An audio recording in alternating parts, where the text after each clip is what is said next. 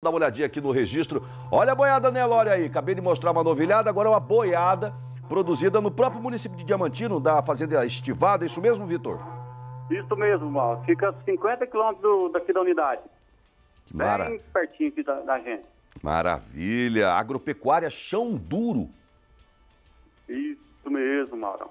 É Boi Europa isso aí? Ou, Boi Europa, Mauro. Opa, que maravilha. Lista Boi... Trace, né? Boi Europa. 110 dias de coxo, Mauro. Bom, hein, rapaz? Muito bom, 20 arrobas e meia. E animal novo, novo, novo, viu? Zero e dois dentes no máximo, né? Sim, de zero a dois dentes. Maravilha, parabéns oh. ao pessoal da Fazenda Estivado. Pois não? Isso, isso.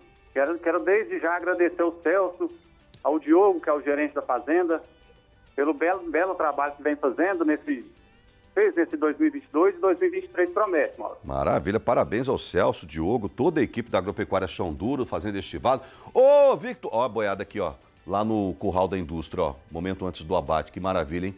Animais mansos, com certeza eles devem implementar um trabalho de bem-estar animal. Ô, Victor, me ajuda no, no, na enquete do dia, da pergunta do Giro do Boi do Dia?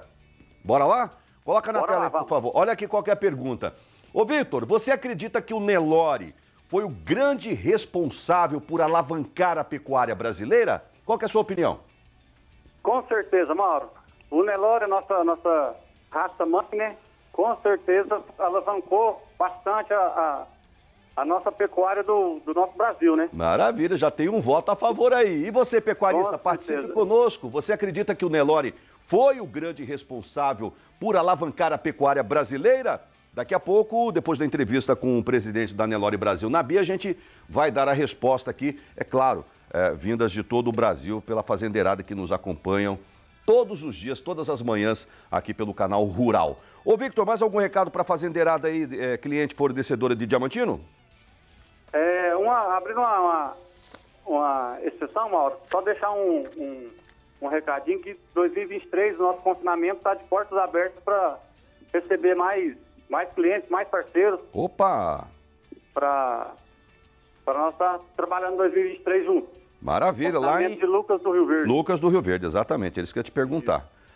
Lá em Lucas do Rio Verde, maravilha. Ó, ó, olha essa foto aí, gente. Olha esse, essa imagem de drone. Olha para mim se não é uma belezura essas imagens aí. Olha o profissionalismo, a, a qualidade estrutural desse confinamento em Lucas do Rio Verde. Grande abraço, seu a família Guimarães, seu Ercival, toda, toda a equipe dele lá. E é claro, o, o, o, tem 13 anos de parceria a, a, esse, esse, essa fazenda aí com a Friboi. E eles acabaram de, de, de, de uh, comemorar a marca de mais de meio milhão de cabeças engordadas nesta estrutura aí, tá bom? Fica à disposição de toda a fazendeirada. Mais algum recado aí, ô Victor? Queria dar, desejar um Feliz Natal, um Feliz Ano Novo para nossos parceiros, pecuaristas, a equipe de, de originação de Diamantino.